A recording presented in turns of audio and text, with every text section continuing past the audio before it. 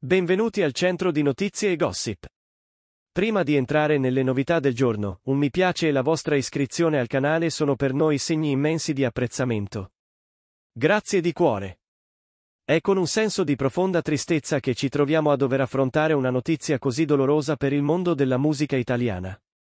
Enrico Musiani, il celebre cantante che tanto ha incantato ed emozionato generazioni intere, ci ha lasciati. Con i suoi 86 anni di vita, Musiani ha rappresentato un punto di riferimento, un faro luminoso nel vasto panorama musicale del nostro paese. L'annuncio della sua scomparsa è giunto attraverso un commovente messaggio postato dalla figlia, Sabrina, sul suo profilo Facebook. Musiani non è stato solo un interprete di successo, ma anche un artista che ha saputo catturare l'anima del nostro popolo con le sue melodie.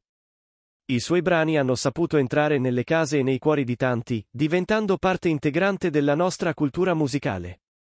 Originario di Livorno, Musiani ha iniziato la sua avventura discografica nel lontano 1964 con la Fonoladischi, conquistando ben tre dischi d'oro lungo il suo percorso artistico e pubblicando oltre un centinaio di album che hanno fatto la storia della musica italiana.